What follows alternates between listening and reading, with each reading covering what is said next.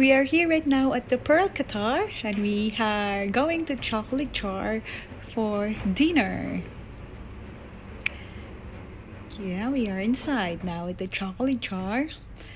I remember this restaurant because my husband before worked as a general manager in the Pearl. The next the next office is his office way back before. So the name of this restaurant I remember was Chocolate Bar. I just see this time that it is now a chocolate jar. So we decided to have dinner here just like for the old time's sake. This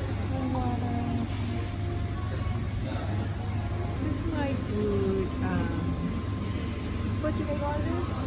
Alfredo. Chicken Alfredo. It looks nice. What do you Um, want? I'm, I'm good. Looks very nice.